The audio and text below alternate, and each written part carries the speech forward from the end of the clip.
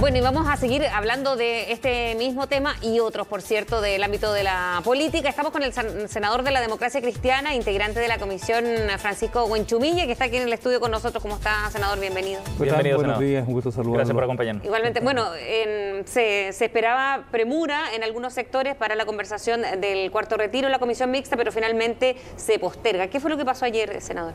Mira, hay varias cosas. Una es que estamos en un escenario global, como todos sabemos, de elecciones por lo tanto hay semana distrital o regional, todos los senadores y diputados están en sus regiones. Entonces era muy difícil pensar que apurando el tranco en la comisión mixta pudiéramos después citar al pleno de ambas cámaras para ratificar o aprobar o denegar el, acuerdo de la comisión mixta. Entonces se pensó mejor hacerlo con cierta tranquilidad. Y porque por lo demás no sacamos nada con apurar esto si no van a estar los votos en el Senado para poder aprobar el cuarto retiro porque hay muchas senadoras y senadores que condicionaron eh, el apoyo en particular a que se hagan cambios al proyecto. ¿Y qué tan profundos serán esos cambios, senador? Porque eh, ayer se advertía eso también, que había una necesidad de repensar este proyecto de manera bien profunda. Mira, hay como unos 8, 9, 10 puntos controvertidos, pero unos son más cruciales que otros. Por ejemplo, el tema de la renta vitalicia yo creo que es el tema más crucial. Cierto. El tema de los impuestos es otro tema controvertido. El tema de dar un cerrojo mediante elevar los quórum. Bueno, ahí tienes tú tres puntos bastante importantes, difíciles de resolver. ¿Y usted, eh, usted cree que sería necesario, por ejemplo, separar alguna parte de este proyecto? Por ejemplo, lo de las rentas vitalicias. ¿Usted cree que podría separarse de esta iniciativa para acelerar el tranco con el cuarto retiro y analizarlo con más calma al otro? Mira, la ventaja que tiene una comisión mixta es que tiene mucha flexibilidad para lograr acuerdos.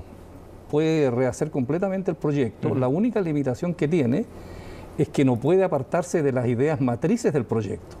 De tal manera que lo que está ahí, sobre esa base nosotros podemos cambiar todo. Incluso podemos hacer un, solo paquete para votarlo, podemos hacer eh, dos o tres paquetes para votarlo separadamente por cada una de las ramas, entonces tenemos mucha flexibilidad para poder eh, presentar a la sala, primero de la Cámara de Origen, que es la, eh, la Cámara de Diputados, y después la Cámara Revisora, que es el Senado. Así que hay mucha flexibilidad para poder buscar una Y voluntad, le pregunto porque eh, cuando eh, hablábamos con algunos parlamentarios, diputados incluso que formaban parte de la comisión mixta, estaban por hacer un debate rápido. Ahora tampoco, eh, o sea, había estos temas, pero no, no había como temas definidos para ponerlo en la mesa y resolverlo ayer en general, que era lo que decía, por ejemplo, la diputada Cariola. Claro, bueno, tuvimos una, una discusión un poquito áspera a veces. Sí. y entonces lo primero que despejamos fue lo siguiente, decirle, mire, bueno, si ustedes quieren, por lo menos yo no tengo ningún inconveniente que lo votemos tal como está. Hoy día nos demoramos cinco minutos y se acabó. Pero eso significa que esto no se va a aprobar en el Senado. Para que se apruebe en el Senado tenemos que resolver las peticiones que tenemos de distintos senadores y senadoras respecto de eh, modificar algunos temas centrales como lo que hemos nombrado. Entonces, ¿cómo se hace eso? ¿Cómo se llega a un acuerdo? ¿Cómo se flexibiliza? Entonces no se puede hacer eh, en, un par de horas porque tenemos que trabajar los aspectos económicos, financieros y los aspectos jurídicos para tratar de construir un acuerdo que sea viable. Porque la otra posibilidad es decir, mire, no, yo no quiero que esto no se apruebe y, lo mandamos igual a, la sala. Pero eso significaría simplemente que no van a estar los votos. ¿Y usted cree que en la Cámara de Diputados o en los diputados de la Comisión en particular hay eh, voluntad también para ceder en alguno de los puntos importantes? Porque eh, se necesitan todo en el tango, digamos, senador, aquí. Lo que pasa es que si tú no cedes, entonces no, van a estar las mayorías para poder eh, llegar a un acuerdo. Pero algunos diputados, como Carol Cariola, por ejemplo, que con quien conversamos ayer acá, eh, decía que habían asuntos que eran intransables, ¿no? que desnaturalizaban, si es que se cambiaban, desnaturalizaban el proyecto. Y uno de ellos tenía que ver con lo de la renta vitalicia, por ejemplo. Claro, mira, lo que pasa es que hay una, una, cultura eh, en el sentido de que uno respeta las posturas que tiene cada senador y cada diputado en la comisión mixta, en eso no hay problema. Cada cual, digamos, eh, aterriza sus convicciones de la manera que lo estime pertinente. Así que si alguien no quiere votar nada, uno lo respeta, no dice nada, cada cual es responsable de cómo vota y cómo alega sus pretensiones. Pero si tú quieres llegar a un acuerdo para que esto sea viable, naturalmente que tú tienes que ceder en ciertas cosas. Bueno, hay algunos puntos en los cuales eh, todos tenemos eh, cuestiones que no vamos a ceder. Por ejemplo. Por ejemplo, yo no estoy disponible para hacer un cerrojo y subir los quórum a los dos tercios. No me parece a mí que después que la constitución del 80 nos persiguió por 30 años con los quórum, a estas alturas nosotros estemos subiendo, digamos, los quórum a los dos tercios. Entonces sería una contradicción política vital en torno a cómo vemos, digamos, el cerrojo que tenía la constitución del 80. El cerrojo se va a hacer si hay voluntad política de legislar o no legislar, pero no mediante el establecimiento de un cerrojo jurídico como sería elevar a los dos tercios. Eso, tiene que ver con el mecanismo, pero con el fondo el asunto es cómo detenemos estos reiterados retiros de fondos previsionales que podrían seguir eternamente. Bueno, pero mientras haya una mayoría que esté disponible para votar ese quórum, esa es una decisión política. Eh, claro, pero eso no puede ir llevando también a otra discusión que tiene que ver con lo que eh, han dicho desde el gobierno, de la oposición, de estar mejorando, por ejemplo, el sistema de pensiones y gastar esa energía en lugar de estar siempre discutiendo uno y otro retiro.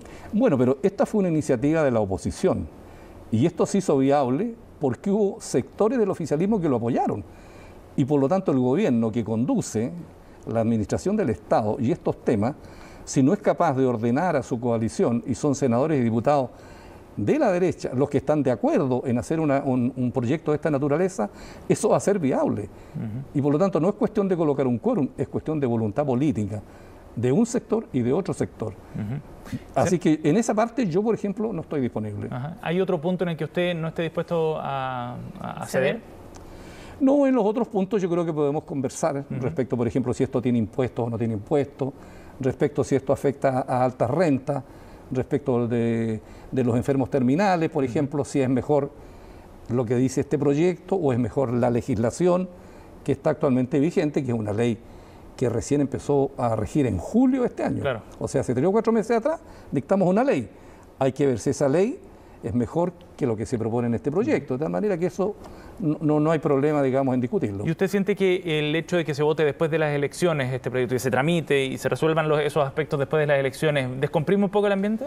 Eh, evidentemente que porque ah, eh, tenemos elecciones presidenciales, por un mm. lado, que van a continuar, eh, con, las dos primeras mayorías, eventualmente, pero están mm, los senadores y diputados que van a la elección. Mm. Y eso, digamos, seríamos ciegos negar que eso influye porque la gente presiona y los parlamentarios, por lo tanto, están viendo lo que dice la gente. Después de las elecciones, ese escenario se va a calmar y por lo tanto puede haber una mirada distinta. ¿Cómo ven las elecciones el domingo, senador? Eh, las veo inciertas. Yo apuesto porque este país sea sensato y hagamos los cambios que son necesarios hacer pero que no nos vayamos a los extremos, tengamos tranquilidad, estabilidad, el país lo necesita, y entonces a mí me gusta más el camino del medio y espero que la gente sensatamente escoge ese camino. ¿Y usted cree que eh, en el debate de esta semana, por ejemplo, hubo la oportunidad de, plasmar eso para su, candidata, para Yasna Proboste en particular, eh, para evitar ese escenario de una segunda vuelta, por ejemplo, con los dos extremos? Mire, para ser franco, a mí me sorprendió positivamente cómo el candidato Sichel fue capaz de remontar la baja que había tenido en los otros debates y en el posicionamiento de la opinión pública. Parece que se preparó bien, apuntó exactamente a los temas y el candidato Cas, que estaba bastante bien posicionado, fue lamentable, digamos, la performance que tuvo en el debate, de tal manera que que yo creo que a lo mejor eso puede mover la aguja un, punto.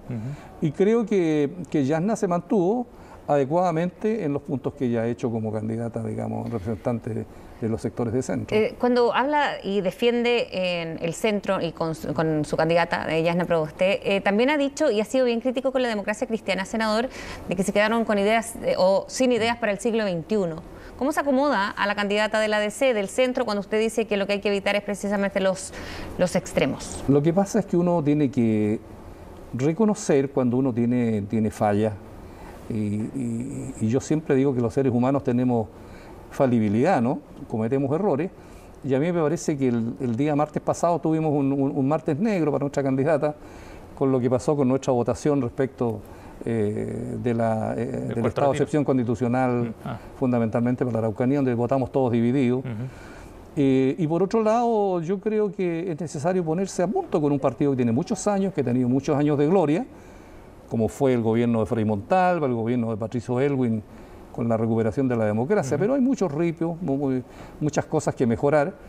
Y por lo tanto yo tengo la independencia necesaria como para poder decir, mire, tenemos que cambiar esto para mejor, por supuesto, sí, una crítica constructiva, para poder rebobinar y colocarnos, digamos, con los nuevos tiempos que vienen, que es un mundo que cambió dramáticamente a partir de, los años gloriosos de Frei Montalva, pero este otro mundo y por lo tanto tenemos que adaptarnos a ese nuevo mundo. Senador, y, en ese sentido, pensando en la, en la segunda vuelta, Gabriel Boric eh, plantea ya eh, la necesidad de ir pensando en la unidad de, la centroizquierda y de la izquierda, ¿no? del bloque progresista, así lo dijo en el mismo debate, eh, y ha hecho ya algunos llamados en ese, en ese sentido. ¿Cuál debería ser, en la eventualidad de que Gabriel Boric pasara a la segunda vuelta frente a José Antonio Cast, cuál debería ser la posición de la DC en ese escenario? Mire, es evidente que el día 21 en la noche eh, todos los actores políticos vamos a, vamos a tener que responder una pregunta. ¿Qué le decimos al país frente a ese resultado hipotético que usted señala? Mire, yo siento que la, centro izquierda debe descartar absolutamente la posibilidad de apoyar a un candidato de ultraderecha. Eso está eh, plenamente claro, no se descarta. Después, e, en ese evento, que yo espero que no se dé y que la, y la candidata que llegue a la segunda vuelta sea la Yasna, pero si hubiera ese evento hipotético, a mí me parece que no procede que en esta, en esta vuelta, primera, el 21, en la noche, los primeros días, uno empiece a, hacer, a poner condiciones, decir, mire, cámbiame el programa, yo quiero estar en la coalición. No. Hay que dar una señal más bien ética, decir, mire, yo con la ultraderecha no estoy, vamos a apoyar a este candidato. ¿Y no le quiere generar ruido el Partido Comunista? Eh, ah, no, a mí no me genera ruido eso. Nosotros fuimos eh, gobierno con el Partido Comunista durante la nueva mayoría. Sí, lo que pasa es que la candidata eh, Proboste habitualmente mm. también hace mucha alusión al Partido Comunista y han gobernado. La extrema izquierda. La extrema izquierda. Mire, eso forma parte del debate de querer, digamos, tener un cierto perfil frente a la opinión pública para marcar ciertas diferencias, pero creo que pasado eso uno vuelve a la normalidad de ver las cosas con mayor tranquilidad y mayor calma y en consecuencia no procede, a mi juicio, estar colocando condiciones programáticas o estar haciendo peticiones de entrar a la coalición.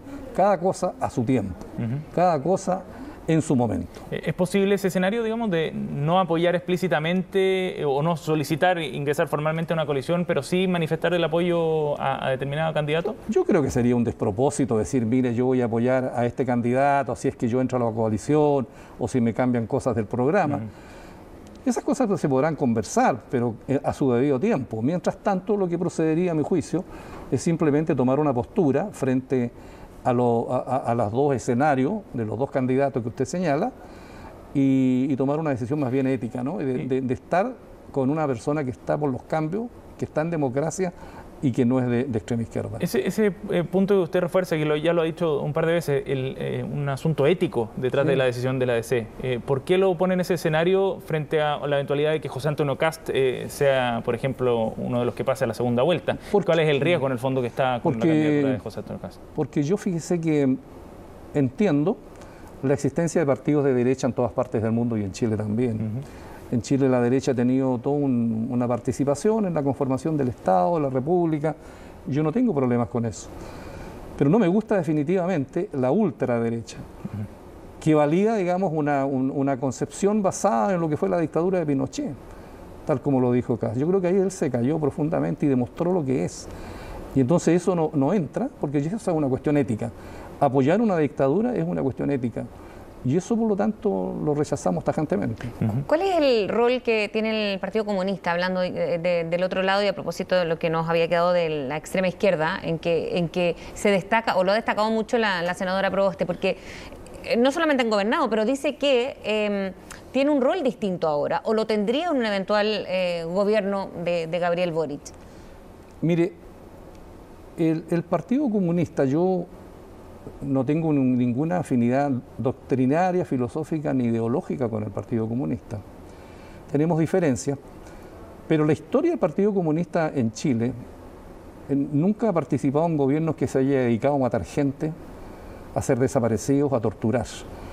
Ellos tienen una postura crítica respecto del sistema capitalista y el sistema eh, liberal eh, tienen una concepción de una sociedad distinta. Ellos conciben la sociedad de una manera distinta. Ahora en el siglo XX ellos, ellos fracasaron en eso con la Unión Soviética y eso se derrumbó. Hoy día existe comunismo con distintas variantes. Están el comunismo chino, mm. ¿no es cierto? Que la derecha no toca porque habiendo intereses y habiendo negocio, entonces la derecha cierra los ojos y, no le importa. Entonces, este es el típico juego que hay, que hacen, digamos, determinados sectores, simplemente para, para tratar de eh, endosarle a, un partido un posicionamiento ideológico que es legítimo que tenga, pero que yo no, comparto, porque ellos tienen una manera distinta de ver cómo se organiza Pero sí sería más protagónico que eh, como lo fue en alguna vez en las administraciones Bachelet. Yo creo que sí, efectivamente, porque eh, en, dentro de la nueva mayoría era un partido más dentro de un gran conglomerado. Hoy día es un, es un, actor importante en la candidatura de Gabriel, pero ahí está la gestión política, el liderazgo del presidente, de quien conduce, y eso es lo clave. Porque si tú me apuras un poco, el drama y el fracaso, entre otras cosas, del presidente Piñera es la gestión política, mm. como lo fue también el segundo gobierno de la presidenta Bachelet. Entonces, muy clave el rol del presidente y el rol de, su equipo que lo acompañen en como comité político para manejar este barco en medio de los mares procelosos que vamos a tener en los próximos meses y sin incluso pensar en lo que va a ser la Convención Constitucional, que también va a estar paralelamente en todo este escenario. ¿no? protagonista del primer año del próximo gobierno. Senador Buenchumilla, gracias por conversar con nosotros. Que tenga buen día. Senador. Gracias, buenos días.